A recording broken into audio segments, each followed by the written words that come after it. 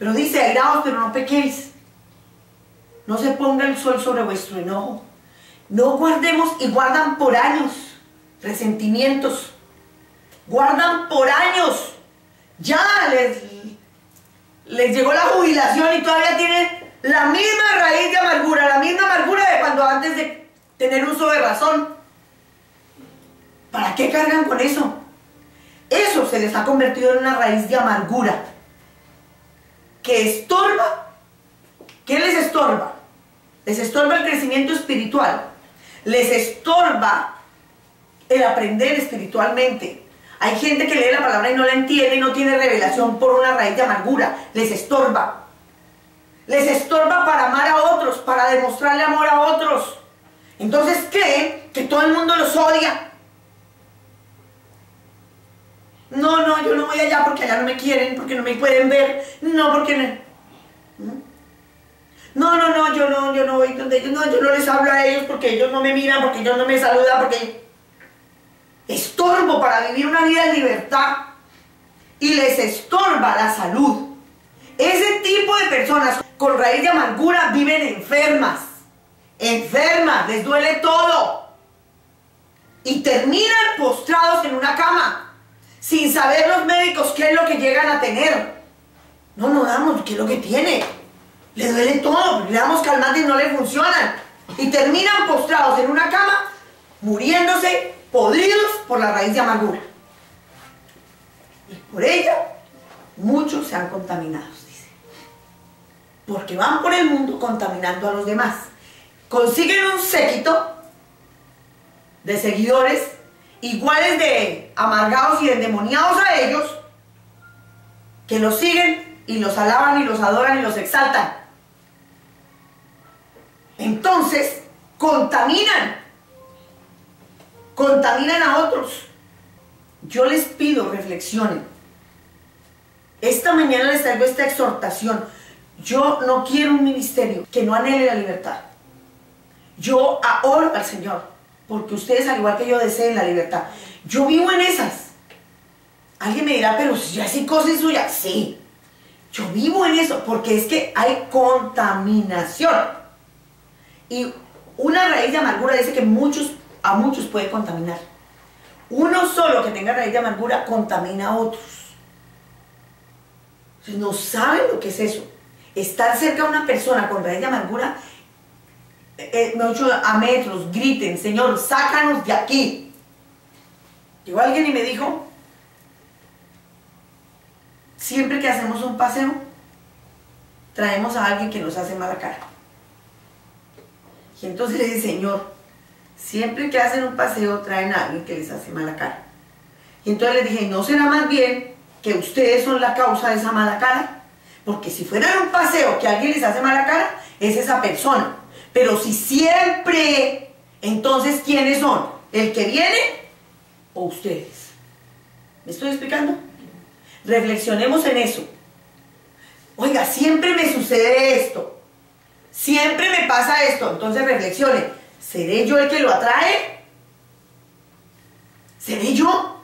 Y entonces llegué a la conclusión que la raíz de amargura de una sola persona hace que se les amarguen todos los paseos. No es el invitado no es el que lleve. Es que una sola persona con raíz de amargura amarga todos los paseos. Y así seguirán. Mientras la persona no sea libre, seguirá esa raíz de amargura estorbando y contaminando a otros.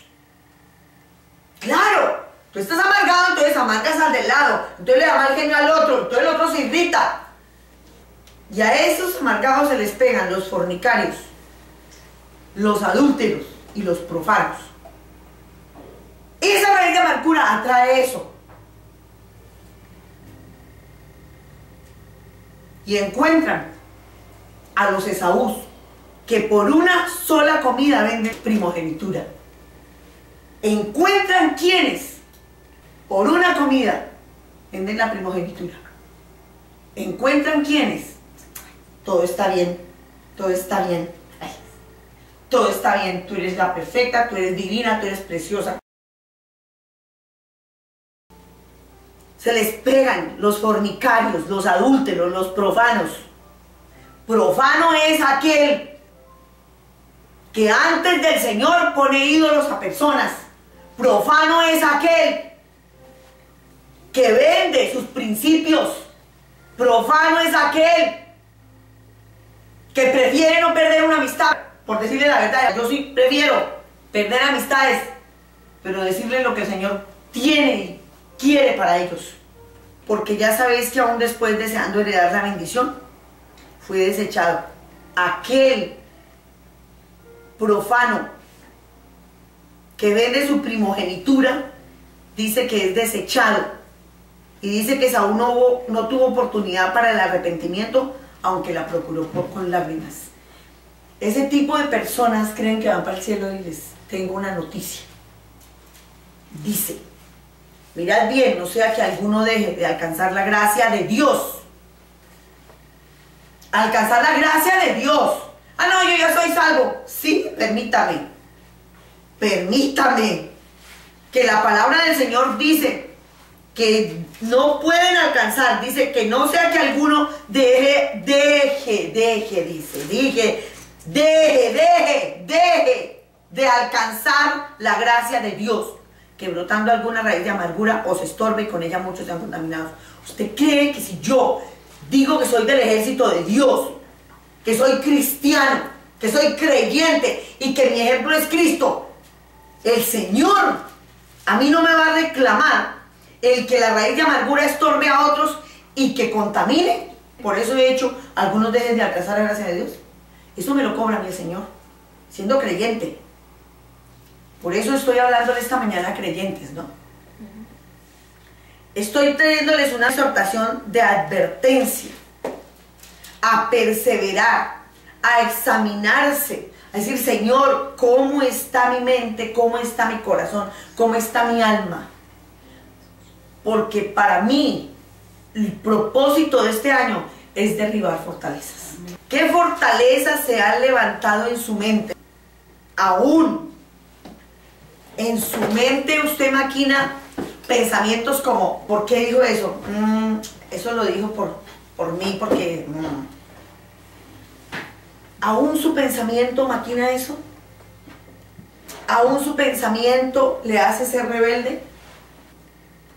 Si yo le presto a usted un artículo, usted tiene la obligación de decencia de venir y entregármelo en la mano y decir, gracias, muy amable, ¿verdad? La persona vino y lo botó así, a donde yo me iba a sentar. El Espíritu Santo me muestra, yo le doy gracias al Señor, porque aparte del discernimiento, el Señor me da esas revelaciones de las actitudes de la gente conmigo. Y qué pensar que se pierda la bendición, porque el que me bendice, el Señor no bendice, y el que me maldice, el Señor lo bendice. Y la persona, yo encontré donde me iba a sentar el artículo que había prestado, lo habían botado así.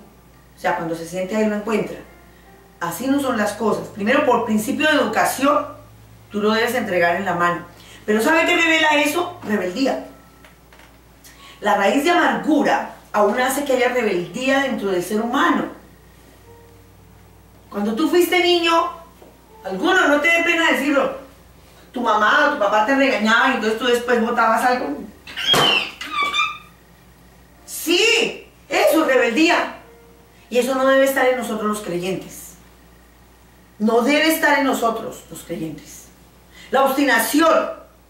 La obstinación es que, sí, es que lo dijo por este y por este, y es que no, y es que no me quiere nadie, y es que no me quieren mirar, y es que no, no, no, no, no, no. Y eso crea fortalezas. Si tú lo sigues dejando en ti, eso crea fortalezas. Los sentimientos revanchistas, el desquite, lo dejamos y eso crea fortalezas. El orgullo, la vanidad, la hipocresía. Yo llamo la hipocresía el aceite que revitaliza la raíz de amargura. La autoconmiseración crea fortalezas. El pobrecito de mí, es que usted no sabe lo que yo sufrí, usted no sabe lo que yo pasé, usted no sabe, el pobrecito de mí. Una cosa es que tus vivencias, después de que el Señor te haya liberado, te haya sanado, tú las cuentes para edificación de otros. Es para que se vea lo que Dios ha hecho en ti. Adicciones. Las adicciones. la maquinación de maldad. Vuelvo y les digo, esos sentimientos revanchistas. Eso es una rama de la raíz de amargura. Hay que decirles lo que florecerá por la boca. Porque la boca es la que expresa todo lo que nuestro corazón siente. Y la raíz de amargura está en el corazón. La envidia, el odio y la raíz de amargura lleva división. Entonces la persona con raíz de amargura no está feliz porque todos estén unidos. Los quiere divididos. La persona con raíz de amargura lleva división a donde vaya, a donde esté. Nada le agrada, nada le gusta y menos que todos estén felices. La persona con raíz de amargura tiene ira y la tiene guardadita, escondidita, pero cuando se la tocan, le florece. Parecen serpientes enroscadas y cuando la tocan, suelta el veneno y lo clava. ¿Y qué decir de la raíz de amargura? Que lleva chisme. Chisme. Nada le gusta, nada le agrada, entonces va y encuentra a quienes le prestan el oído, porque no solo peca el que abre la boca al llevar el chisme, sino el que oye. No presten sus oídos al chisme. Ah, tuvimos entre nosotros una que llevaba y traía. Me gustó tanto que el Señor me le, ah, Señor me dio su palacito. Dijeron que mi hija había dañado una silla. Y yo me fui y la lavé. Me fui a lavar la tela. Y la chismosa vino a ver yo qué decía. Y el Espíritu Santo me dijo, cuida lo que dices. Y entonces ella dijo, ay, pero ¿y qué pasó? Ya había oído que habían dicho que, que mi hija había dañado la silla. Y entonces le dije, pues aquí lavando lo que dicen que mi hija hizo, pero como yo no di a luz para maldición, sino para bendición, no creo que mi hija lo haya hecho. Eso fue lo que el Señor me puso a decir. ¿Sí ven? Palabra, palabra. Tú no hablas, sino palabra del Señor. Yo no di a luz para maldición, sino para bendición, y por eso no creo que yo lo haya hecho. ¿Sí es? Yo, Señor, ¿por qué me salió eso así? Yo creo que la mujer en su vida había oído esa palabra, ella no sabe ni qué fue lo que le dije. Porque esa mujer no abre la Biblia para nada, aunque dice que es cristiana. Le floreció, allá el Señor le sacó a la luz la infidelidad al marido, le salió, le mostró el Señor lo chismosa que es, lo envidiosa, lo lujuriosa, todo. ¿Por qué? ¿Por qué? Porque se juntan con los de raíz de amargura. Y esos de raíz de amargura entonces se rodean de todos esos. Pero no para liberarlos. No para liberarlos. ¿Usted cree que el de raíz de amargura dice, venga, oro por usted, que está peor que yo? No, todos están divinamente, todos estamos bien. Todos estamos bien. Aquí no ha pasado nada, todos estamos bien. Y no estamos bien. No estamos bien. Tenemos que derribar las fortalezas que hay en nuestra mente y en nuestro corazón. Y a este ministerio les lanzo el desafío para este año. Este año, su propósito debe ser derribar fortalezas en su mente, en su corazón, en su vida, para que así puedan ayudar a otros a derribar las fortalezas. Amén. No puedo ayudarle a nadie si yo primero no estoy sano. Una raíz de amargura me paraliza, me enferma, me duele de aquí hasta aquí. Y así como voy a ayudar a otros. Amén. ¿Tenemos clara la enseñanza de hoy? ¿Cuál es el propósito de nosotros? Derribar fortalezas. Porque es hora de levantarnos como ejército de Dios para triunfar contra las huestes malignas. Nosotros tenemos el triunfo. Nosotros tenemos la victoria en Cristo Jesús sobre las obras del maligno. No nos dejemos vencer por el maligno. No permitamos que las raíces de amargura crezcan en nosotros. No permitamos que el egoísmo crezca en nosotros. No permitamos más la hipocresía en nosotros. No permitamos más el chisme y la autoconmiseración. No permitamos más la envidia, el odio, la división y la ira en nosotros. No más que ha hecho fortaleza, no solo en nuestra vida, sino en nuestro entorno, en nuestras familias.